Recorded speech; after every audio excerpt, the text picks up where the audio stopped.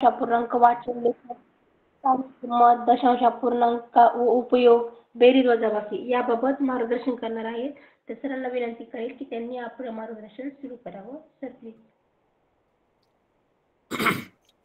नमस्कार सर्वांना. Good morning इयत्ता पाचवी शिष्यवृत्ती परीक्षेच्या तयारी अंतर्गत अपूर्णांक या घटकातील आज आपला शेवटचा उपगट तो म्हणजे दशांश अपूर्णांक. दशांश अपूर्णांक हा घटक शिकत असताना आपण आज काय काय बघणार आहोत त्याच्या अंतर्गत? तर त्या दशांश अपूर्णांकाचं वाचन लेखन त्यानंतर त्या दशांश अपूर्णांकातील जे अंक आहेत त्या अंकांच्या स्थानिक किमती प्रत्येक अंकाची स्थानिक किंमत ती कशा रूपात लिहावी लागते त्यानंतर? नंतर त्या दशांश अपूर्णांकाची बेरीज वजाबाकी आणि गुणाकार आणि भागकार आपल्या अभ्यासक्रमात नाहीत. परंतु मी जसं की काल सांगितलं तुम्हाला आपण सर्वजण गुणवत्ता यादीत येणारे विद्यार्थी आहात. गुणवत्ता यादीत येण्यासाठी प्रयत्न करणारे विद्यार्थी आहात. त्यामुळे आपल्याला काहीतरी वेगळं करावं लागणार आहे इतरांपेक्षा. मग आपण बेरीज आणि वजाबाकीवर न थांबता गुणाकार आणि भागाकार या सुद्धा क्रिया दशांश अपूर्णांकाच्या बघणार आहोत. आणि त्यानंतर काही शाब्दिक उदाहरणे आहोत आज शनिवार आहे. काही विद्यार्थी कमी जॉईन होऊ शकतात. असू द्यात. जे आहेत त्यांच्यासोबत आपण जाणार आहोत. ठीक आहे. दशांश अपूर्णांक. दशांश अपूर्णांक कशाला म्हणायचं? अपूर्णांकाची व्याख्या आपल्याला चांगल्यापैकी कळालेली आहे. दोन दिवसामध्ये. त्याच्या अगोदर पण आपल्या वर्गामध्ये अध्यापन झालं असेल. आपल्या वर्ग शिक्षकांकडून आपल्याला संबंधित घटकाबद्दल चांगली माहिती दिली गेली असेल. परंतु आता दशांश अपूर्णांक मग ह्याच्यामध्ये काय वेगळं असतं? तर ज्या अपूर्णांकाचे छेद दहा किंवा दहाच्या पटीत असतात त्या अपूर्णांकांना दशांश अपूर्णांक म्हणतात. पुन्हा सांगतो ज्या अपूर्णांकाचे छेद दहा किंवा दहाच्या पटीत असतात त्यांना दशांश अपूर्णांक म्हणतात. आता याचं जर उदाहरण द्यायचं ठरलं तर आपल्यासमोर लिहितो मी. पाच अंश छेद दहा. ह्या अपूर्णांकाचा छेद दहा आहे म्हणून हा दशांश अपूर्णांक आहे. त्यानंतर नऊ अंशेद शंभर किंवा याला आपण पंच्याण्णव अंशेद शंभर पण करू शकतो. पंच्याण्णव अंशेद शंभर ह्याचा अंश हा सॉरी छेद हा शंभर आहे. तो दहाच्या पटीत आहे. म्हणून यालाही दशांश अपूर्णांक आपण म्हणू शकतो. परंतु आता ही व्याख्या जी आहे बघा दहा किंवा दहाच्या पटीत. थोडासा कधी कधी ह्याच्यामुळे मुलं गोंधळून जातात. काय होतं? असा एखादा अपूर्णांक असतो. सत्तावीस अंश छेद चाळीस. तर या अपूर्णांकाचा छेद चाळीस आहे. परंतु आपली व्याख्या जर बघितली तर दहा किंवा दहाच्या पटीत मग चाळीस हा दहाच्या पटीत येतोच की मग हा या अपूर्णांकाला आपण दशांश अपूर्णांक म्हणू शकतो का? तर अजिबात नाही. हा अपूर्णांक दशांश अपूर्णांक नाही. दहाच्या पटीत या शब्दाचा अर्थ या ठिकाणी कसा आहे? तर दहा किंवा शंभर किंवा एक हजार किंवा दहा हजार किंवा त्या पुढील आता. मला काय सांगायचं हे आपल्याला समजलं असेल. दहाच्या पटीत म्हणजे थोडक्यात काय? तर दहा शंभर एक हजार दहा हजार एक लाख दहा लाख एक कोटी वगैरे वगैरे वगैरे. जेव्हा अशा प्रकारचा छेद त्या अपूर्णांकाचा असतो तेव्हा त्या अपूर्णांकाला दशांश अपूर्णांक असे म्हणतात. आता या दशांश अपूर्णांकाचं आपल्याला वाचन लेखन करता आलं पाहिजे. आणि हे अपूर्णांक आपल्याला दशांश चिन्हाच्या रूपात लिहिता आले पाहिजेत. हे अपूर्णांक आपल्याला दशांश चिन्हाच्या रूपात लिहिता आले पाहिजेत. आता ते दशांश चिन्हाच्या रूपात कसे लिहायचे? तर काही पूर्णांकयुक्त अपूर्णांक असतात बघा. किंवा अंशाधिक अपूर्णांक असतात. किंवा फक्त साधे अपूर्णांक असतात. ह्या सर्वांचं रूपांतर आपल्याला दशांश चिन्हाच्या रूपात करता येणं गरजेचं आहे. आपण स्थानिक किमतीचा भाग थोडासा मागे ठेवूयात पण यांचं रूपांतर अगोदर शिकूयात. आता या ठिकाणी आपल्याला विद्यार्थ्यांना कन्सेप्च्युअल लर्निंगपेक्षा आपल्याला काय दाखवायचंय मित्रांनो तुम्हाला मला? की पटकन रूपांतर कसं करता आलं पाहिजे. ठीक आहे. आता या ठिकाणी जर माझा पूर्णांक असेल पाच अंश छेद दहा. तर याचं रूपांतर मी कसं करणार आहे दशांश चिन्ह रूपामध्ये? आपल्याला शॉर्टकट ट्रिक शिकायची या ठिकाणी. मग पाच अंश छेद दहा हा जर अपूर्णांक असेल तर या ठिकाणी दशांश चिन्ह रूपात रूपांतर करण्यासाठी सध्या आपल्याला हा अंश छेद रूपात आहे. दशांश अपूर्णांक तर आहेच आहे परंतु हा अंश छेद रूपात आहे. तर याचं रूपांतर कसं करायचं? एक गोष्ट लक्षात घ्यायची मुलांना. दहाला सध्या दशांश चिन्ह नाही नाही म्हणजे ते कुठं असतं तर इथं असतं. पाचला सध्या दशांश चिन्ह नाही नाही म्हटल्यानंतर ते कुठं असतं तर इथं असतं. ठीक आहे. आता मला याचं रूपांतर कुठं करायचंय? तर दशांश चिन्ह रूपात करायचं आहे. म्हणजे काय? तर याचा मला जो छेद दहा आहे तो गायब करायचा आहे. मग मी काय करणार? हे एक दशांश चिन्ह इकडं घेणार. मी एक घर डाव्या बाजूला सरकवलं. छेदाचं जर मी एक घर डाव्या बाजूला सरकवतोय तर मला अंशाचंही सरकावं लागेल. मग पाचच्या अलीकडचं दशांश चिन्ह इथं जाईल. ठीक आहे? मग माझा अपूर्णांक राहिला काय? पॉइंट पाच म्हणजेच याला आपण शून्य पॉईंट म्हणतो. आणि छेद एक हा छेद एक लिहिण्याची गरज नाही. तर याचं रूपांतर काय येतंय आपलं? शून्य दशांश चिन्ह पाच. बघा मी काय केलंय? दशांश चिन्हामध्ये रूपांतर करण्यासाठी मी काय केलं याचं? पाच अंश छेद दहा याचा आपल्याला दशांश चिन्हात रूपांतर करायचं दशांश चिन्ह रूपात लिहायचं म्हणजे याचा छेद आपल्याला उडवून टाकायचा आहे छेद गायब करायचा आहे. तर छेद गायब करायचा म्हणजे तो छेद एक आणायचा. एक आणल्यानंतर तो आपोआप गायब होतो.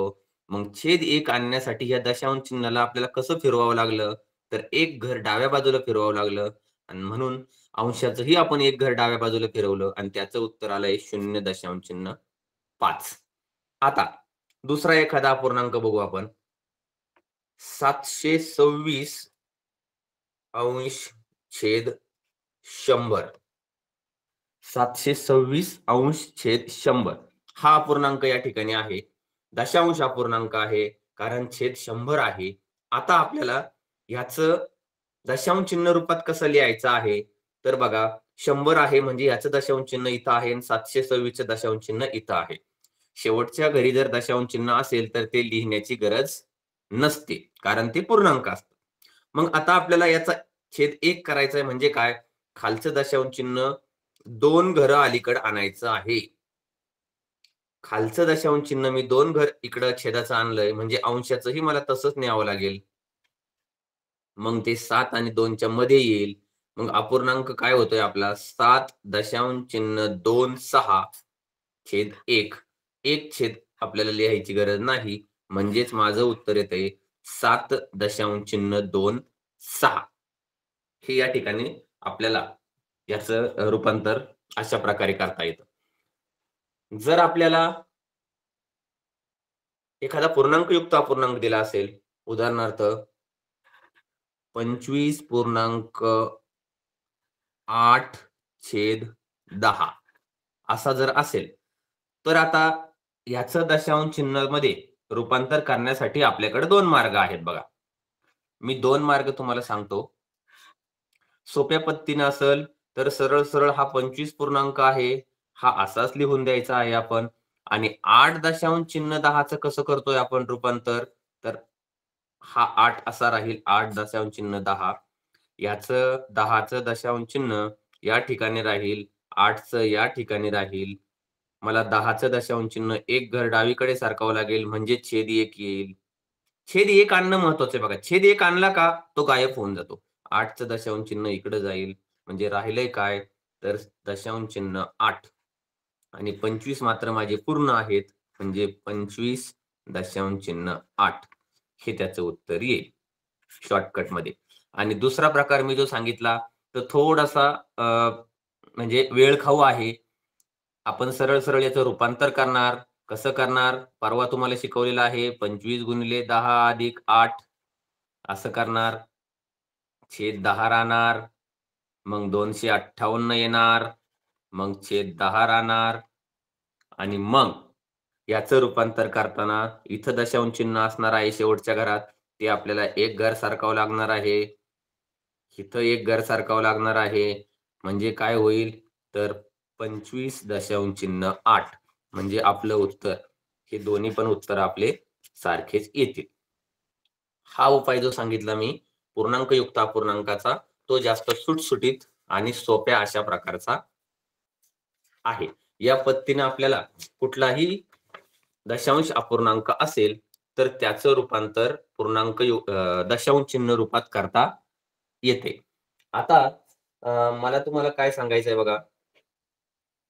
या अपूर्णांकामध्येच प्रत्येक अंकांची वाचन तर मी तुम्हाला सांगितलं. हा काल परवा पालवे सरांचं लेक्चर होतं. मी पण स्वतः जॉईन होतो. दशांश चिन्हां रूपात ज्या संख्या आहे त्यांचं वाचन आपलं झालेलं आहे. त्याच्यामध्ये फारशी विशेष बाब नाही मी पण ऐकलेलं आहे. मग आपल्याला दशांश चिन्ह रूपात वाचनामध्ये वेळ घालण्याची गरज नाही. आपण आता काय करूयात? हे रूपांतर करत असताना काही वेळा थोडेसे वेगळे उदाहरणं येतात. आता बघा मी तुमच्या समोरच ठेवतो एक उदाहरण. सत्तावीस अंश छेद एक हजार. हा दशांश अपूर्णांक आहे या ठिकाणी. आता तुम्हाला आपल्याला काय करायचं आहे? तर याचं दशांश चिन्ह रूपामध्ये मांडणी करायची आहे रूपांतर करायचं आहे. आता कसं करणार आपण? तर मला एक कळतंय की हे दशांश चिन्ह एक हजारचं दशांश चिन्ह नाहीये तो पूर्णांक दिसतोय आपल्याला खालची संख्या फक्त. सत्तावीस ला पण दशांश चिन्ह नाहीये मग आपण काय करणार? दोघांचे दशांश चिन्ह डाव्या बाजूला असणार हे आपण देऊन घेतोय. आता मला याच दशांश चिन्हामध्ये रूपांतर करायचे म्हणजे काय? तर छेदाचं दशांश चिन्ह मला तीन घर डावीकडे सरकावं लागणार आहे. तेव्हा त्याचा छेद एक होईल. छेदाचं दशांश चिन्ह तीन घर डावीकडे सरकवल्यानंतर अंशाचं सुद्धा मला तितकंच ठरकावं सरकावं लागेल. परंतु या ठिकाणी आपल्याला काय दिसतंय की अंशाला मात्र दोनच अंक आहेत. मग अशा परिस्थितीमध्ये काय करायचं आपण? तर आपण काय करायचं? सत्तावीसच्या अलीकडे आणखी दोन शून्य दिले तरी त्याला काहीही फरक पडत नाही. ती संख्या सत्तावीसच वाचतोय आपण. दोन काय आणखी चार शून्य दिले तरी सुद्धा ही ती संख्या सत्तावीसच राहते. अशा वेळी मांडणी सुटसुटीत करण्यासाठी आपण ते घर वाढवून घ्यायचे. आणि आता मगाशी सांगितल्याप्रमाणे एक हजारचं दशांश चिन्ह तीन घर डावीकडे यायचं मग ते एक होईल एक पॉईंट शून्य शून्य शून्य. आणि सत्तावीसचं दशांश चिन्ह सुद्धा आपल्याला तीन घर डावीकडे यावं लागेल मग ते इथं होईल म्हणजे माझं उत्तर येईल. शून्य दशांश चिन्ह शून्य सत्तावीस छेद एक मांडण्याची गरज नाही. याचं रूपांतर येईल शून्य दशांश चिन्ह शून्य दोन सात. बरेच मुलं याला शून्य दशांश चिन्ह शून्य सत्तावीस असं म्हणतात. तसं वाचन करणं चुकीचं आहे कारण ते सत्तावीस नाहीत. सत्तावीस म्हणजे ते पूर्णांक होतील इथं सत्तावीस नाहीत. आता ह्याचं वाचन दोन प्रकारे करतात. शून्य दशांश शून्य दोन सात किंवा शून्य दशांश चिन्ह जर तुम्हाला सत्तावीस म्हणायचंच असेल तर सत्तावीस सहस्रांश असं त्याला म्हणतात. सहस्रांश. सहस्रांश का म्हणतात? तर बघा मी संख्या पुन्हा लिहितोय. शून्य दशांश चिन्ह शून्य दोन सात. याला सत्तावीस सहस्रांश का म्हटलेलो आहे? तर बघा याचा छेद एक हजार होता. एक हजार म्हणजे सहस्र म्हणतो आपण त्याला. मग आता या ठिकाणी दशांश चिन्हाच्या अलीकडे तीन घरे आहेत. तीन घरे आहेत म्हणजे एक हजार पैकी ती संख्या आहे. सहस्रांश म्हणजे एक हजार पैकी. सत्तावीस सहस्रांश म्हणजे एक हजार पैकी सत्तावीस. या ठिकाणी वाचन करताना आपल्याला तीन गोष्टींचाही विचार करावा लागतो. दशांश जेव्हा छेद दहा असतो त्याला दशांश म्हणतात. जेव्हा छेद शंभर असतो त्याला शतांश म्हणतात. आणि जेव्हा छेद एक हजार असतो त्याला सहस्रांश म्हणतात. आणि या पुढचा भाग दशसहस्रांश वगैरे वगैरे ते आपल्या अभ्यासक्रमात नाही आणि त्याचा फारसा विचार करण्याचीही गरज नाही.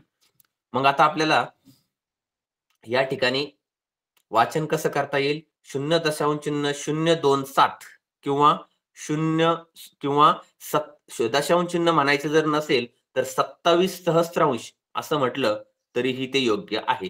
सत्तावीस सहस्रांश म्हणजेच काय? तर एक हजार पैकी सत्तावीस. म्हणजेच त्याला शून्य दशांश चिन्ह शून्य दोन सात असं म्हटलं जात. आता आपण काय करणार आहोत? तर दशांश चिन्हामधील दशांश चिन्ह रूपात मांडलेले जे अंक आहेत ज्या संख्या आहेत त्यांचं आपण स्थानिक किमती बघणार आहोत.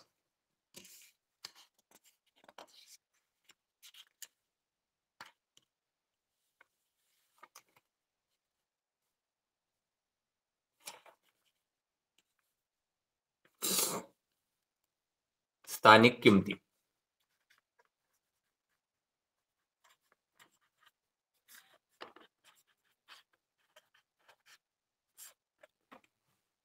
स्थानिक किंमत.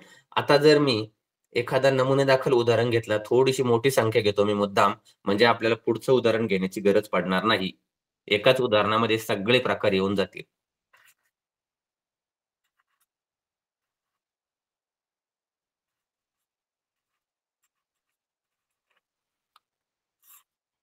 बघा या ठिकाणी मी एक संख्या लिहिलेली आहे. दोनशे नव्वद दशांश चिन्ह तीन शून्य पाच आठ. थोडीशी खाली लिहितो मी पुन्हा. ती का लिहितोय तुम्हाला नंतर कळेल. दोनशे नव्वद दशांश चिन्ह तीन शून्य पाच आठ. थोडस अंतर ठेवून पण लिहितोय मी. माझं काय प्रयोजन त्याच्यामागे कळेल तुम्हाला आता. दोनशे नव्वद दशांश चिन्ह तीन शून्य पाच आठ. ही एक दशांश चिन्ह रूपात मांडलेला दशांश अपूर्णांक आहे. तर आता आपल्याला काय करायचं आहे? दोनशे नव्वद दशांश चिन्ह तीन शून्य पाच आठ. तर या प्रत्येक अंकाची आपल्याला स्थानिक किंमत लिहायची आहे. आता बघा हे दोनशे नव्वद जे आहेत हे तर पूर्णांक आहेत. ह्याच्याबद्दल कुणाला काही शंका असण्याचं कारण नाही. कारण आपण आता पहिलीपासून या संख्या त्यांचं स्थानिक किंमत दर्शनी किंमत वगैरे बघत आलेलो आहोत. हे पूर्णांक आहेत याची काही अडचण नाही. मग या ठिकाणी शून्य हा एकक आहे. याची किंमत शून्यच असते. नऊ हा दशक आहे. याची किंमत नव्वद असते आणि दोन हा शतक आहे. याची किंमत दोनशे असते. या पूर्णांकाबद्दल आपल्याला कुठलीही शंका नाही. कुठला अडचण असण्याचं कारण नाही. परंतु खरी अडचण जी आहे ती इकडं आहे. दशांश चिन्हाच्या उजवीकडे. आता बघा इथं दिलेलं आहे तीन शून्य पाच आठ.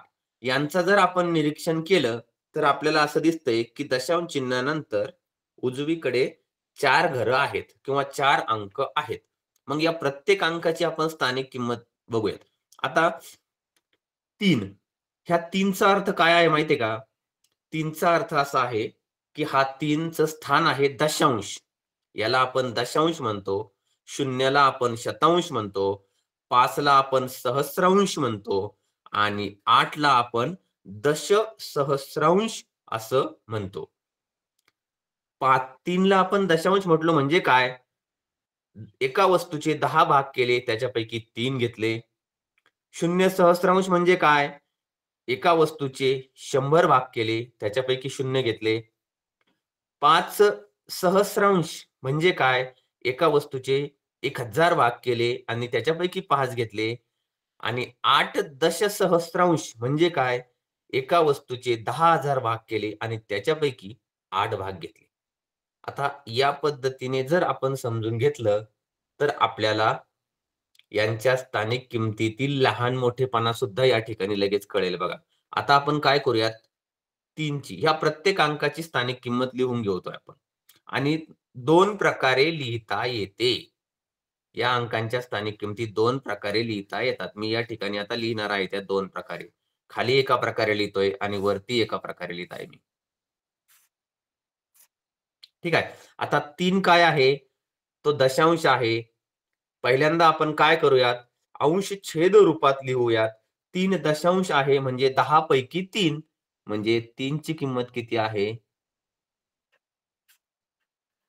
दहा पैकी तीन. ओके. त्यानंतर पुढचा अंक आहे शून्य. शून्यला तुम्ही कुठं पण निघून घाला दशांश चिन्हाच्या अलीकड घाला पलीकड घाला कुठंही घाला त्याची किंमत कायम काय होते? तर शून्यच होते. त्याची स्थानिक किंमतही शून्य असते आणि त्याची दर्शनी किंमतही शून्य असते. दशांश चिन्हाच्या उजवीकडाना तरी शून्य असतो डावीकडण्यात तरी शून्य असतो. ओके? त्याच्यामुळे मी मुद्दाम शून्य घेतला. म्हणजे त्याचीही परत कन्सेप्ट आपला क्लिअर होऊन जाईल. त्यानंतर पाच काय आहे? तर तो सहस्रांश आहे. मग पाचची किंमत किती आहे? सहस्रांश म्हणजे काय? एक हजार भाग करून त्यापैकी पाच भाग घेतलेले आहेत. म्हणजेच पाच अंश छेद एक हजार. त्यानंतर आठ हा अंक आहे. आठचं स्थान काय आहे? दश सहस्रांश असं आपण त्याला म्हणतो. म्हणजे काय? एका वस्तूचे दहा हजार भाग केले आणि त्याच्यापैकी फक्त आठ भाग घेतले.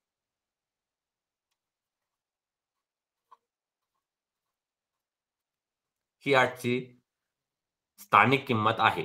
आपण तीन शून्य पाच आणि आठ या सर्व अंकांच्या स्थानिक किमती या ठिकाणी लिहिल्या आहेत. परंतु त्या स्थानिक किमती आपण अंश छेद रूपात लिहिलेल्या आहेत आता आपण काय करणार आहोत? त्या किमती दशांश चिन्ह रूपात लिहिणार आहोत. मग तीन काय आहे? दशांश आहे. दशांश चिन्ह रूपात तीनची किंमत आहे. शून्य दशांश चिन्ह तीन. शून्याची किंमत तर शून्यच असणार आहे. पाच ची किंमत आहे शून्य दशांश चिन्ह शून्य शून्य पाच कारण तो सहस्रांश आहे. आणि आठ ची किंमत किती आहे? शून्य दशांश चिन्ह शून्य शून्य शून्य आठ. याच जर आपण रूपांतर केलं या वरच्या सगळ्या स्थानिक किमतीचं तर आपल्याला हे खालच्या स्थानिक किमती मिळणार आहेत. अपूर्णांकाचं आपण दशांश चिन्ह अपूर्णांकात रूपांतर जर केलं तर. आता ते कसं करायचं? तर हे बघा वरती बाण दाखवतो. मगाशी मी तुम्हाला सांगितलेलं आहे. या प्रकारे जर रूपांतर केलं तर तुम्हाला दशांश चिन्ह रूपामध्ये त्या संख्या मिळतील. आता फक्त मी तुम्हाला ज्या स्थानिक किमती आता सांगितलेल्या आहेत याच्यावरून मला तुम्हाला एक सर्वसामान्य विधान करायचं आहे की जे तुम्हाला पेपर सोडवताना खूप उपयोगी पडणार आहे. बघा आता ही संख्या आहे पुन्हा खाली लिहितोय मी संख्या. दोनशे नव्वद दशांश चिन्ह तीन शून्य पाच आठ. ही जी संख्या आहे या संख्येमध्ये जर आपण स्थानिक किमतीचा विचार केला तर काय दिसणार आहे आपल्याला? जसं जसं आपण या दशांश चिन्हापासून इकडे इकडे जाऊ तशी स्थानिक किंमत आपली वाढत चालणार आहे. कारण काय? एकक दशक शतक हजार दस हजार लक्ष दशलक्ष कोटी दशकोटी वगैरे वगैरे. आणि जसं आपण दशांश चिन्हापासून उजव्या बाजूला जाणार आहोत तशी या संख्येची किंमत ही वजा वजा होणार आहे. म्हणजे भाग वाढणार आहेत. दहा पैकी शंभर पैकी एक हजार पैकी दहा हजार पैकी जसे भाग वाढणार आहेत तशी त्यांची स्थानिक किमतीचं मूल्य जे आहे ते कमी कमी होणार आहे. मग या उदाहरणाचा जर विचार केला तर सर्वात जास्त स्थानिक किंमत आहे दोनची. ती दोनशे आहे. त्यानंतर आहे नव्वद नऊची. ती त्यापेक्षा थोडीशी कमी आहे. शून्यची तर कायम शून्यच असणार आहे. आणि मग खरा महत्त्वाचा मुद्दा यांच्यासाठी आहे. तर तीन शून्य पाच आणि आठ. परीक्षेत प्रश्न अशा प्रकारचा विचारला जातो तीन शून्य पाच आणि आठ यापैकी सर्वात जास्त स्थानिक किंमत असलेला किंवा सर्वात मोठी किंमत असलेला अंक कोणता? तर यामध्ये आपल्याला प्रथम दर्शनी जरी आठ हा अंक मोठा दिसत असला तरी स्थानिक किंमत मात्र त्याची कमी आहे. त्याची स्थानिक किंमत पाच पेक्षा किंवा तीन पेक्षा कमी आहे. दिलेल्या मी राऊंड जे केलेलं आहे या राऊंड मधील अंकांपैकी तीनची स्थानिक किंमत सर्वात जास्त आहे. ती किती आहे? तर ती तीन अंशे दहा म्हणजे दहा पैकी तीन आहे. म्हणजे मला एकाच वस्तूचे फक्त दहा भाग करायचे आणि त्यापैकी तीन भाग घ्यायचे आणि आठबद्दल जर विचार केला तर मला एका वस्तूचे दहा हजार भाग करायचे बघा बर का. मला त्या वस्तूचे दहा हजार भाग करायचे आपण एक सोपं उदाहरण घेऊयात. मला या ठिकाणी अपूर्णांकापेक्षा उदाहरणापेक्षा समजून देणं खूप महत्वाचं वाटतं मुलांना. कारण गेल्या चार पाच वर्षामध्ये मी पाचवीचा वर्ग शिकवत असताना ही अडचण खूप मोठ्या प्रमाणावर येते. मला एक सांगायचंय की या ठिकाणी एक भाकरी जर आपण घेतली तिचे जर दहा भाग केले आणि त्यापैकी तीन भाग घेतले. एका भाकरीचे दहा भाग केले आणि त्यापैकी तीन भाग घेतले. आणि दुसरी एक तेवढीच भाकरी घेतली. तिचे मी दहा हजार भाग केले. किती छोटे छोटे तुकडे होतील रे ते. तिचे मी दहा हजार भाग केले आणि त्याच्यापैकी आठ भाग घेतले. मग सांगा माझ्याकडे कोणती भाकरी मोठी राहील मिळा मला मिळालेली? तर निश्चितच दहा भाग करून तीन भाग घेतलेली जी आहे ती मोठी असणार आहे. आणि हाच या अपूर्णांकाचा गाभा आहे. हाच या दशांश चिन्ह रूपातील संख्यांचा गाभा आहे. जसं दिसतं तसं नसतं. मी तुम्हाला पहिल्या दिवशी हे वाक्य सांगितलेलं आहे. अपूर्णांकाच्या बाबतीमध्ये जसं दिसतं तसं नसतं. त्यामुळे आपण बऱ्याच वेळा स्थानिक किमती लिहिताना लहान मोठेपणा करताना तुलना करताना त्याचा विचार करायचा असतो. ठीक आहे? स्थानिक किमतीकडे आपण गेलेलो आहोत. आता आपण फक्त अपूर्णांकाची बेरीज वजाबाकी गुणाकार आणि भागाकार या गोष्टी शिकणार आहोत. अतिशय सोपा भाग आहे हा. अपूर्णांकाची बेरीज वजाबाकी गुणाकार भागकार खूप सोपा आहे. बेरीज आणि वजाबाकी तर खूपच सोपी आहे. गुणाकार भागकारही त्यापेक्षा सोपा आहे. फक्त आपल्याला काय करायचं आहे? तर मांडणी करताना. बघा आता बेरीज. एक एक उदाहरण घेणार आहे मी पटपट फक्त.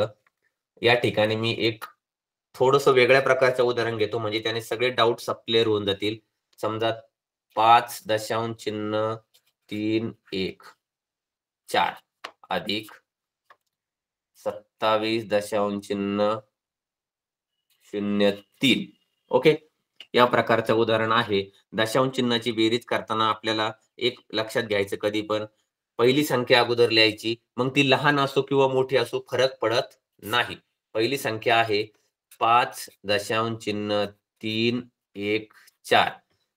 मुलांना सूचना आहे की अशा प्रकारचे उदाहरणं सोडवताना थोडेसे अंक लांब लिहित चला म्हणजे आपला त्यांचं इकडं तिकडं डायव्हर्शन होत नाही. त्यानंतर बेरजेचं चिन्ह आणि दुसरी संख्या आहे सत्तावीस दशांश चिन्ह शून्य तीन. परंतु दुसरी संख्या लिहिताना आपण एक गोष्ट लक्षात घ्यायची की दशांश चिन्हाच्या खाली दशांश चिन्ह पहिल्यांदा द्यायचं आहे. मग दुसरी संख्या जी आहे सत्तावीस दशांश चिन्ह तीन तिचं दशांश चिन्ह अगोदर द्यायचं आहे. आणि तिथून दोन्ही बाजूला ती संख्या लिहित जायची आहे. याचं कारण काय आहे मी तुम्हाला सांगणार आहे बघा. मग इकडं शून्य तीन आणि इकडं सत्तावीस. अशा प्रकारे. दशांश चिन्हाच्या खाली अगोदर दशांश चिन्ह द्यायचं आहे. अशा पद्धतीत लिहिल्यानंतरच आपलं उदाहरण बरोबर येईल. आणि मग त्यांची बेरीज करायची आहे. जे घर मोकळे राहिलेत वरच्याच्या खाली तिथं शून्य ठेवून द्यायचा. जे खालच्याच्या वरचे मोकळे राहिले तिथं शून्य ठेवून द्यायचा. दोन्ही संख्या सारख्या झालेल्या आहेत. आता आपल्याला काय करायचंय? त्यांची बेरीज करायची आहे. चार अधिक शून्य चार होईल. अगोदर हा सॉरी बेरीज करताना पण काय करायचं आहे? अगोदर परत दशांश चिन्हाच्या खाली दशांश चिन्ह देऊन घ्यायचं आहे. म्हणजे इथं पण चूक होणार नाही. चार अधिक शून्य चार होतील. एक अधिक तीन चार होतील. तीन अधिक शून्य तीन होतील. पाच अधिक सात बारा होतील. याचा एक आपला हातचा जाईल. तो इकडे येईल. एक अधिक शून्य अधिक दोन हे तीन होतील. माझं उत्तर आलं आहे बत्तीस दशांश चिन्ह तीन चार चार. अशा प्रकारे. वजाबाकीलाही आपण बिलकुल हीच ट्रिक वापरणार आहोत. मी वजाबाकीचं उदाहरण घेणार सुद्धा नाही कारण आपल्याकडे वेळ कमी आहे. काहीही बदल नाही फक्त दशांश चिन्हाच्या समोर खाली दशांश चिन्ह मांडा आणि उत्तरामध्येही दशांश चिन्ह लिहून घ्या. आणि बिंदास आपल्या साध्या बेरजेसारखे साध्या वजाबाकीसारखी वजाबाकी करा. आवश्यकता वाटे भासेल तिथं उसना घ्या. आवश्यकता नसेल तर बळच उसना घेऊ नका. ठीक आहे. आता मी गुणाकार सांगतो तुम्हाला. गुणाकार काही प्रमाणात आहे. मला दिसला नाहीये पुस्तक पाठ्यपुस्तकात. तरी पण आपण घेणार आहोत. एखादं उदाहरण घेतो. चोवीस दशांश चिन्ह तीन एक. गुणिले आठ. या ठिकाणी मी उदाहरण अशा प्रकारचं घेतलेलं आहे की फक्त गुण्य जो आहे चोवीस दशांश चिन्ह तीन एक त्याच्यामध्ये दशांश चिन्ह आहे. गुणकामध्ये नाही. गुणकामध्येही दशांश चिन्ह असणारे गुणाकार असतात परंतु तुमच्या पातळीवर ते नाहीत. तरीही मी तुम्हाला सांगणार आहे कसं करायचं ठीक आहे? पहिल्यांदा हा गुणाकार करूयात आपण. गुणाकार करताना थोडीशी उलटी क्रिया आहे. जसं आपण बेरीज आणि वजाबाकीमध्ये जसं आपण बेरीज आणि वजाबाकीमध्ये आपण अगोदर दशांश चिन्हाच्या खाली दशांश चिन्ह देऊन घेत होतो तसं गुणाकारात करायचं नाही. गुणाकारात मात्र सगळ्यात शेवटी दशांश चिन्ह द्यायचं. साधा गुणाकार असं समजूयात की दोन हजार चारशे एकतीस गुणले आठ आहे आणि गुणाकार करून घेऊयात आठ एक आठ आठ त्रिक चोवीस इथं दोन येतील. आठ चौक बत्तीस अधिक दोन चौतीस इथं तीन येतील. आठ दोन सोळा तीन एकोणावीस. एकोणावीस हजार चारशे अठ्ठेचाळीस असं उत्तर दिसतंय. आता मला माझ्या दशांश चिन्हाची आठवण आली पाहिजे. मग दशांश चिन्हाची आठवण आली पाहिजे म्हणजे काय? तर उजव्या बाजूने विचार करायचा आहे. दशांश चिन्हाच्या उजवीकडे किती घरं आहेत? तर दोन घरं आहेत. दोन घरं आहेत म्हणजेच मला उत्तरामध्ये ही दोन घरं सोडावे लागतील. मग माझं उत्तर येईल एकशे चौऱ्याण्णव दशांश चिन्ह चार आठ. एकशे चौऱ्याण्णव दशांश चिन्ह चार आठ. ओके. आता दुसरा भाग म्हणजे गुणकामध्ये ही जर दशांश चिन्ह असतं तर काय करायचं? बघा फक्त मी सांगून जाणार आहे जाता जाता तो बदल तुम्ही करून घ्यायचा.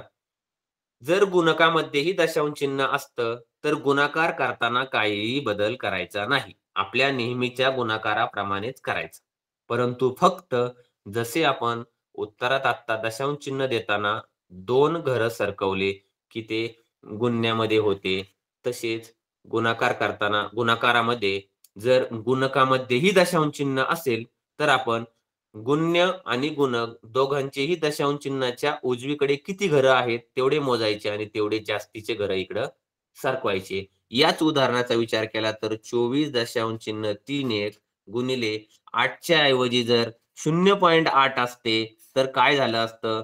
गुणाकार तोच आला असता फक्त दशांश चिन्ह सरकावताना हे दोन घर आणि हे एक घर असे मिळून मी एक दोन तीन घर सरकवले असते. आणि माझं उत्तर एकोणावीस दशांश चिन्ह चार चार आठ असं आलं असत. ठीक आहे? गुणाकार आपण बघितला.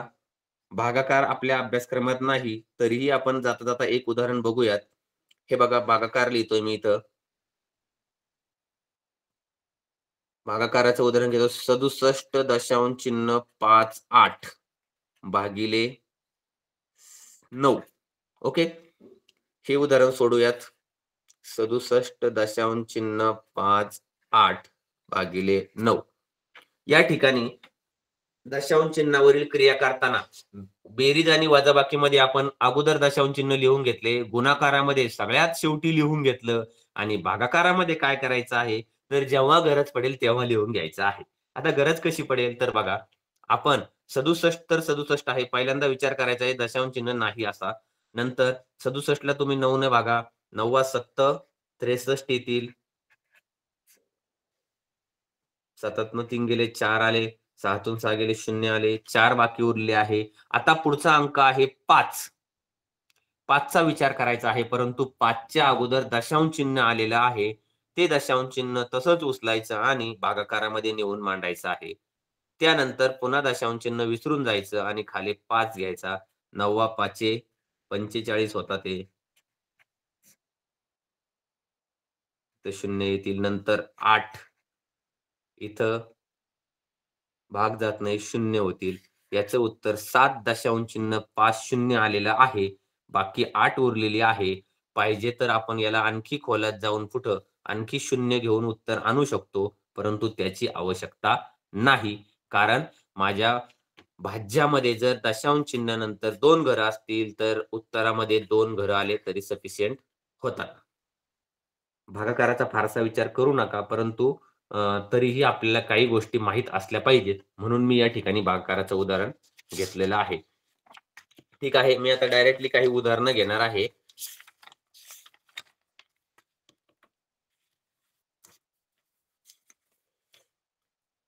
गेल्या दोन दिवसामध्ये आपण अपूर्णांक बघितलेले आहेत. बऱ्याचदा मी कमेंट बॉक्स चालू करून मुलांना उत्तर देण्यासाठी सांगितलं परंतु काही विद्यार्थी काय करतात? One two three four one two three four चांफुले खेळल्यासारखं करतात. त्यामुळे आज मी काय केलेलं आहे तर तुम्हाला ऑप्शन ठेवलेले नाहीत. म्हणजे तुम्हाला स्वतः उत्तर लिहावं लागेल. आता इथं वर एक संख्या लिहिलेली आहे. मुख्य परीक्षेत विचारलं गेलेलं उदाहरण आहे हे. आठ दशांश चिन्ह आठ अधिक आठ दशांश चिन्ह शून्य आठ अधिक आठ दशांश चिन्ह शून्य शून्य आठ अधिक शून्य आठ दशांश चिन्ह शून्य आठ अधिक अठ्ठ्याऐंशी दशांश चिन्ह आठ. सगळे आठ आठ आठ आठ होऊन गेले त्याच्यात. घाबरायचं अजिबात कारण नाही. मी मगाशी सांगितलं होतं दशांश चिन्हाची बेरीज आहे. बेरीज मांडताना फक्त आपण दशांश चिन्ह व्यवस्थित मांडायचं. बाकी सगळं क्रिया आपल्याला माहीत आहे. मांडणी करूयात. आठ दशांश चिन्ह आठ. पहिला अपूर्णांक दशांश चिन्ह रूपात लिहिला मी. त्यानंतर आठ दशांश चिन्ह शून्य आठ. मी काय करणार आहे? अगोदर दशांश चिन्ह मांडणार आहे. शून्य आठ आणि हा आठ इकडून. त्यानंतर आठ दशांश चिन्ह शून्य शून्य आठ. मग पहिल्यांदा दशांश चिन्ह शून्य शून्य आठ. आणि इकडं आठ तसेच. ओके. त्यानंतर आठ दशांश चिन्ह शून्य आठ शून्य आठ. हा पूर्णांक घेणार आहोत आपण. मग दशांश चिन्हाच्या खाली दशांश चिन्ह शून्य आठ शून्य आठ. आणि इकडं आठ तसाच पूर्णांक. आणि शेवटचा अठ्ठ्याऐंशी दशांश चिन्ह आठ. पुन्हा दशांश चिन्हाच्या खाली दशांश चिन्ह मांडणार आहे आठ शेजारीच आहे आठ आणि इकडं मात्र अठ्ठ्याऐंशी आहे. माझी मांडणी पूर्ण झालेली आहे. उलटा पिरेमिड झालाय आपल्या गणिताचा. होऊ द्या हरकत नाही. उरलेल्या सगळ्या घरात शून्य देऊन घ्या म्हणजे आपल्याला उदाहरण सोपं वाटेल. याचा चौरस बनवून घ्या पिरॅमिडला. सगळे शून्य देऊन घ्या. उदाहरण सोडवताना चूक होणार नाही. हे बघा. आता आपण साधी बेरीज करायची आहे यांची. तीन ते चार अंकांची बेरीज करणं आपण शिकलेलो आहोत. शून्य शून्य शून्य आठ येतील. इथं पण आठ येतील. आठ अधिक आठ इथं सोळा येतील. इथं एक हातचा आलाय माझा. आठ अधिक एक नऊ आणि आठ सतरा येतील. दशांश चिन्ह असंच राहील. इथं एक येईल. अठरा पंचेचाळीस आणि एक एक्केचाळीस येतील. इथं हातचा चार राहील आणि अठन चार बारा येतील. उत्तर आलेलं आहे एकशे एकवीस. दशांश चिन्ह सात सहा आठ आठ. एकशे एकवीस दशांश चिन्ह सात सहा आठ आठ. बघा दशांश चिन्हाची बेरीज होती. काहीही वेगळं काही नव्हतं. फक्त मांडणीत बदल होता आणि आठ आठ आल्यानंतर कधी कधी भरपूर अंक सारखेच आल्यानंतर वाचण्यात किंवा लिहिण्यात त्यांचा आपला गोंधळ होऊन जातो. असू द्यात. आता आपण काय करणार आहोत? दोन नंबरचं उदाहरण आहे. सात अंशे पाच गुणिले पाच अंशे सात अधिक एक. हे उदाहरण मी तुम्हाला सोडवण्यासाठी देत आहे. काही मुलं मुलं तुम्हाला फक्त मी एकच मिनिटं देणार आहे. पटकन कमेंट बॉक्समध्ये उत्तर टाकायचं आहे. आज ऑप्शन नाहीयेत काही उत्साही कार्यकर्ते आपले नुसते ऑप्शन टाकत होते दोन दिवसापासून. आज तुमच्यासमोर ऑप्शन नाहीयेत याचं उत्तर सोडवा. चला. तुम्हाला फक्त एक मिनिट वेळ आहे. कारण परीक्षेमध्ये आपल्याला एकच मिनिट वेळ असतो. आणि उदाहरणाकडे बघितलं तर एक मिनिट सुद्धा लागणार नाही. अशा प्रकारचं उदाहरण आहे. अजिबात वेळ खाऊ नाही. बऱ्याच मुलांचा पर्याय दोन येतोय. कोणाचा तरी छत्तीस पस्तीस अंश पस्तीस आलाय कोणाचा तरी. अर्धा मिनिट बाकी राहिलाय फक्त.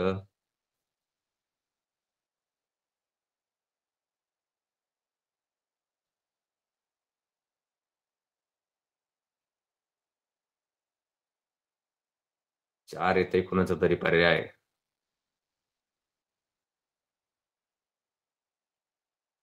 कोणीतरी एक पण दिलंय. ठीक आहे असू द्यात. आपण पटकन उदाहरण सोडून घेऊयात. बघूयात काय येत आहे ते उत्तर. सात अंश छेद पाच गुणिले पाच अंश छेद सात अधिक एक. बऱ्याच मुलांनी हा पुढचा अधिक एक न बघितल्यामुळे त्यांचं उत्तर वेगळं येत होतं. ठीक आहे अपूर्णांकाचा गुणाकार आणि बेरीज याच्यामध्ये आहे. थोडस याला पदावलीचं स्वरूप आलेलं आहे. याचा गुणाकार करताना आपण याला गुणाकार करून भागण्यापेक्षा सरळ सरळ जागच्या जागीच याला कमी करूयात. सात एक सात सात एक सात. पाच एक पाच पाच एक पाच. एक गुणले एक छेद एक गुणले एक अधिक एक. म्हणजेच काय? एक अधिक एक बरोबर दोन. प्रश्नाचं उत्तर दोन आलेलं आहे.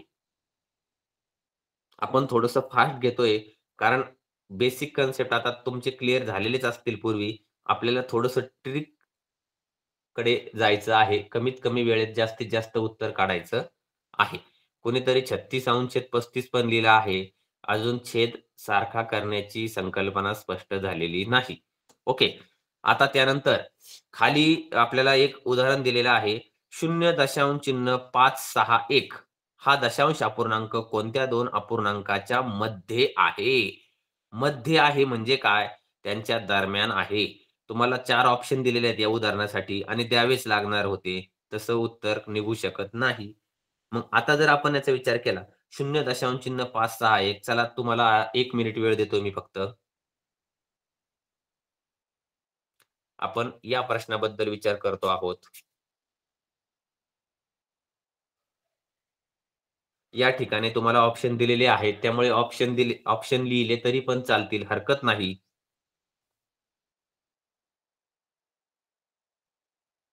दोन चार. बरेच मुलांचा चार येतोय ऑप्शन गुड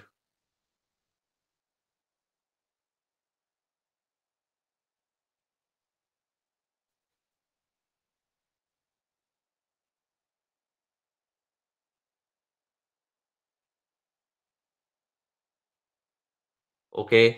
ठीक आहे. बघा आपण आता कुठलं उत्तर येत आहे. दशांश चिन्हांचा लहान मोठेपणा ठरवण्यासाठी या ठिकाणी आपल्याला एक ट्रिक सांगतो तुम्हाला काय करायची. दिलेल्या अंकामध्ये दशांश चिन्हानंतर तीन घरं आहेत. आपण पर्यायाचं निरीक्षण केलं तर काही ठिकाणी एक घर आहे काही ठिकाणी दोन घरं आहेत काही ठिकाणी तीन घरं आहेत. आपण काय करायचं? इथं तीन घरं दिलेत ना सगळ्यांना तीन घरं द्यायची. आपण तुम्हाला ट्रिक सांगतो मी आता. पहिल्यामध्ये दोन आहेत शून्य पॉईंट पाच आहे याला दोन घरं देऊन या.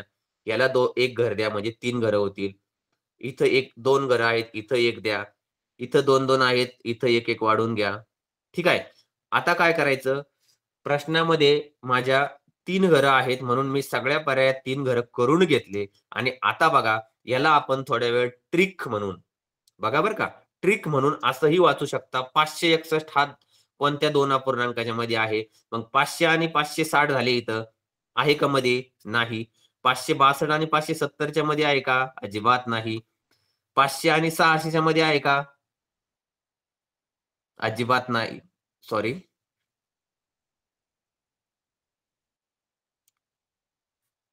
पाचशे पाचशे साठ आणि पाचशे सत्तर. याच्यामध्ये आहे का? आहे. आणि इथं काय सांगितलंय तुम्हाला? थोडासा ऑप्शन इथं घोटाळा वाटतोय मला. शून्य पॉईंट पाच आणि शून्य पॉईंट सहा. इथं जर केलं तर इथं आहे का तो? बघा बरं तुम्हाला काय वाटतंय. थोडासा संदिग्धपणा आहे याच्यामध्ये.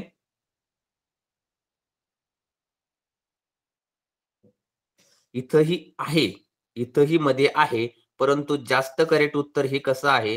तर आपल्याला नजीकचं घ्यावं लागतं.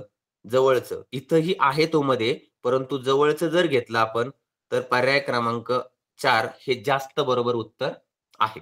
बऱ्याच वेळा आपल्याला अशा प्रकारचे प्रश्न असतात की जास्त म्हणजे आपण काय म्हणतो मॅक्झिमम करेक्ट अँसर जे आहे ते आपल्याला निवडावं लागतं. ठीक आहे. यानंतर आता आणखी माझ्याकडे दोन तीन प्रश्न आहेत. या प्रश्नाचा विचार करूयात आपण. तुम्हाला वेळ आहे एक मिनिट. पंचवीस ची एक अंशेत पाच पट अधिक शंभर ची एक अंशेत दोन पट बरोबर? तुम्हाला तिथं चौकट दिलेली आहे आणि तिची एक अंशेत पाच पट. सोडवा फक्त एक मिनिट वेळ आहे. मी मार्किंग केलेला हा जो प्रश्न आहे याच्याबद्दल आपण बोलत आहोत.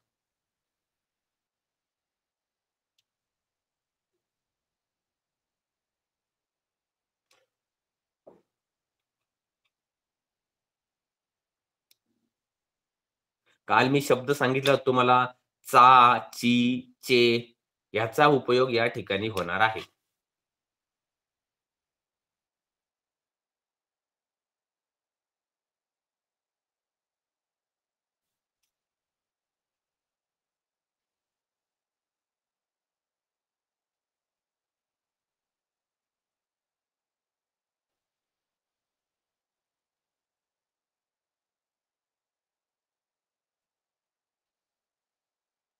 ठीक आहे.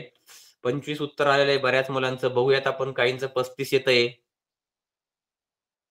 पंचावन्न पण पाठवतात काही मुलं. ठीक आहे बघूयात आपण नेमकं काय येत आहे ओके. फसवा प्रश्न आहे. पंचवीस ची मांडून घेऊयात. पंचवीस ची ची म्हणजे गुणिले.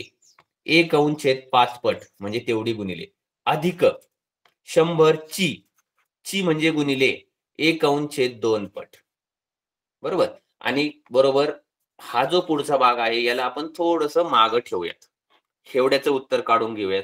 दश अपूर्णांकाचा गुणाकार आहे आणि बेरीज आहे. साहजिकच आपल्या नियमाप्रमाणे आपण अगोदर गुणाकार करणार आहोत. पाच एके पाच आणि पाचा पाचा पंचवीस. या ठिकाणी एकाच टप्प्यात आपण कृती करतो आहोत. बे एक बे आणि जर शंभरला आपण दोनने भागलं तर पन्नास उत्तर येईल.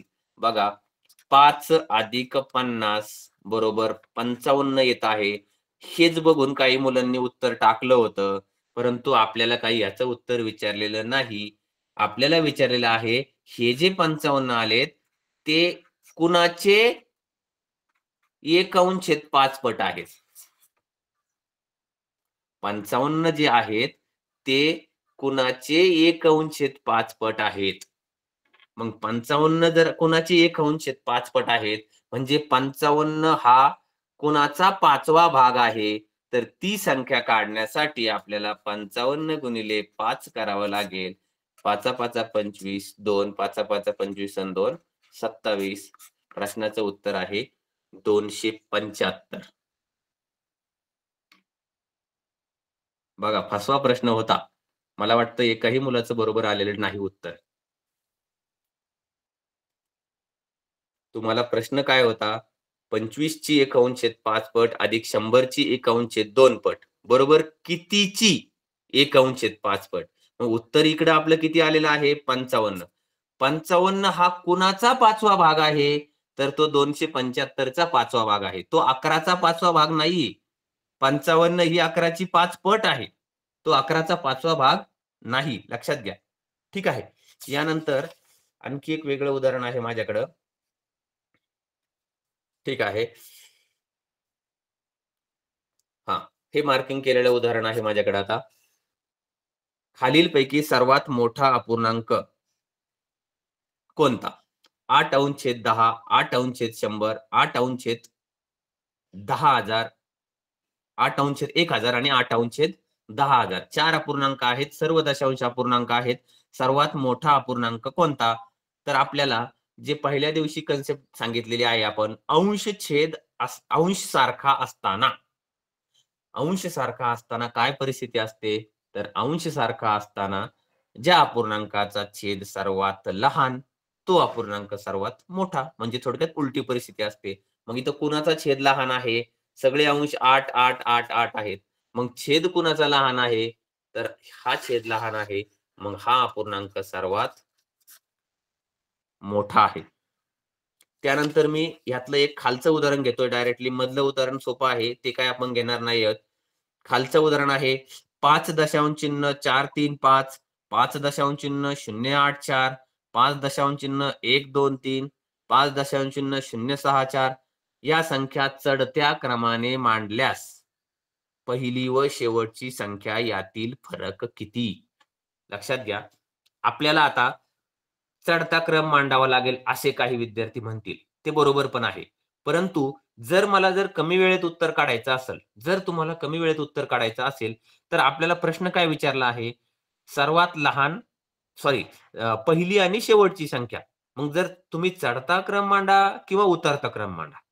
पहिली आणि शेवटची संख्या काय असणार आहे? एक सगळ्यात मोठी असणार आहे आणि एक सगळ्यात लहान असणार आहे. त्यांच्यातला फरक विचारलाय. मग आता इथं पाच दशांश चिन्ह चार तीन पाच ह्या जर त्या संख्यांचं सगळ्या निरीक्षण केलं तर सगळ्यात मोठी संख्या कोणती येते? पाच दशांश चिन्ह चार तीन पाच. सर्वात लहान संख्या कोणती येते? तर पाच दशांश चिन्ह शून्य सहा चार यांच्यातील मला चढता की क्रम लावल्यास त्यांनी विचारले आपल्याला परंतु लावण्याची गरज नाही. कारण का? तर पुढचा प्रश्न तसा आहे पहिली आणि शेवटची संख्या यातील फरक किती? मग आपल्याला पहिली शेवटची संख्या कळाली तरी सफिशियंट आहे या ठिकाणी. मग पाच दशांश चिन्ह चार तीन पाच वजा. फरक काढायचा म्हणजे मला वजाबाकी करावं लागेल. दुसरी संख्या अगोदर दशांश चिन्ह मांडतो. शून्य सहा चार आणि इथं पाच येतील. साधी वजाबाकी आहे. अगोदर दशांश चिन्ह मांडतो. पाचातनं चार एक तीनातनं सहा जात नाही. तर तीन घेऊयात आपण. तेरातनं सहा गेले सात. तर तीन शून्य. माझं उत्तर आलं आहे शून्य दशांश चिन्ह तीन सात एक. हा त्यातील फरक आहे. त्यानंतर आता फक्त दोन उदाहरणं आहेत माझ्याकडं. त्याच्यापैकी पण हे खालचं जे आहे ते आपण घेणार नाही आहोत. ते अतिशय सोपं आहे. आता वरचं उदाहरण आहे. अठ्ठावीस ची ती अयोग्य पर्याय निवडा. अयोग्य मीन्स इनकरेक्ट चुकीचा पर्याय आपल्याला निवडायचा आहे. आणि प्रश्न असा आहे की तो अतिशय सोपा आहे परंतु वेळ खाऊ आहे. तुम्हाला वेळ द्यावाच लागणार आहे. तसा तो प्रश्न येणार नाही. अशा प्रकारचेही काही प्रश्न पेपरमध्ये असतात जे सोपे असतात परंतु आपला वेळ घेऊन जातात. तर आपल्याकडं आपल्याला समोर इतर मार्ग नाही आपल्याला करावाच लागेल. अयोग्य चुकीचा शोधायचा आहे. पहिल्यांदा वन कड जाऊया आपण. अठ्ठावीस ची अठ्ठावीस ची म्हणजे गुणिले तीन अंशेद सात पट बरोबर बारा. होतात का बारा? ते बघूयात. सात एक सात सात चोक अठ्ठावीस. काय आला आहे? चार गुणिले तीन चार त्रिक बारा होतात. म्हणजे हा योग्य पर्याय आहे. परंतु मित्रांनो आपल्याला विचारले काय? अयोग्य. ठीक आहे. मी माझं कच्चं काम म्हणून मार्किंग केलेलं आहे. हा पर्याय योग्य आहे. नंतर दुसऱ्या पर्यायाची मी चाचपणी करणार आहे. काय दिलं आहे? चार अंशेद पाच ची म्हणजे गुणिले. पंधरा पट. ओके? मग पाच एक पाच पाच त्रिक पंधरा. पुन्हा चार गुणले तीन होते ते पुन्हा बाराच येतंय. इथं बाराच आहे. म्हणजे हेही उत्तर बरोबरच आहे. नंतर हे उदाहरण खोडतोय मी थोडस रपवर्कसाठी. चौदा ची म्हणजे गुणिले सहा उंचेत सात पट. ओके? मग किती होते ती? सात एक सात सात दुने चौदा. पुन्हा दोन गुणले सहा ते बाराच होते. म्हणजे हाही पर्याय बरोबर आहे. आता तिसरा पर्याय ती चौथा पर्याय आहे. आठ छेद नऊ ची अठरा पद मग आठ छेद नऊ गुणिले अठरा. मग या ठिकाणी नऊ एक नऊ नऊ दोन्ही अठरा आठ गुणिले दोन सोळा होत आहे. ते मात्र या ठिकाणी नाही. उत्तर इथं बारा दिलंय. म्हणजे हा पर्याय चुकीचा आहे. आणि मला या प्रश्नात बरोबर पर्याय शोधायचे नसून चुकीचा पर्याय शोधायचा आहे. आणि माझं उत्तर आहे पर्याय क्रमांक फोर. पण अशा प्रकारच्या उदाहरणात बऱ्याचदा काय होतं? तुम्हाला दिलं जातं असं उदाहरण. आणि तुम्ही लगेच पहिल्यांदा अठ्ठावीस ची काढता उत्तर बरोबर येतं तुम्ही खून करता आणि सर्कल गोल रंगून घेता आणि नंतर लक्षात येतं परंतु वेळ निघून गेलेली असते. तर या ठिकाणी आपण दशांश अपूर्णांकाबद्दलही या ठिकाणी सविस्तर बोललेलो आहोत. गेल्या तीन दिवसापासून आपण काय केलं आहे? तर अपूर्णांक दशांश अपूर्णांक. त्यातील बारकावे. म्हणजे काय? ज्या ज्या गोष्टी त्याच्यामध्ये सांगितल्या गेल्या आहेत आपल्याला. त्यांची बेरीज वजाबाकी गुणाकार भागाकार नंतर व्यवहारी अपूर्णांक त्यांचं परस्पर रूपांतर दशांश अपूर्णांक नंतर सममूल्य अपूर्णांकासारखा. महत्त्वाचा घटकही आपण या ठिकाणी शिकलेलो आहोत. दिवस खूप आपल्याकडे तसा वेळ कमी होता. कारण कारण अपूर्णांक हा घटक तीन दिवसामध्ये होण्यासारखा अजिबातच नाही. अपूर्णांकासाठी आठ दिवसही कमी पडतील अशा प्रकारचा हा घटक आहे. तर पुन्हा एकदा गेल्या दोन तीन दिवसापासून आपण हा घटक पूर्ण केलेला आहे. माझ्या पत्तीने जेवढ्या ट्रिक तुम्हाला होत्या तेवढ्या सांगितलेल्या आहेत. या व्यतिरिक्तही जर आपल्याला कधी या घटकाबद्दल किंवा अन्य गणित मराठी बुद्धिमत्ता इंग्रजी शिष्यवृत्ती पाचवी संदर्भात काही शंका अडचणी असतील तर बिंदास मला मेसेज करा. शंका असते तर विचारू शकता. आज शनिवार असल्यामुळे आपण एक पाच दहा मिनिटं थोडस लवकर संपवतो आहेत कुलट मॅडम